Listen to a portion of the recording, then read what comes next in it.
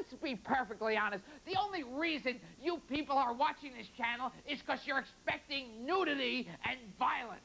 That's it. You know, you're expecting, you know, you could just as easily be watching movies on a regular network, but they cut out all the nude scenes. So you're hoping, well, you know, maybe there'll be someone running by naked that I can watch. That's the whole reason you're watching this. You're not watching it to see the Muppets. You're not watching it to see opera. You're watching it to see nudity. You people want naked people. You want to look at naked people, and that's why you're paying for this.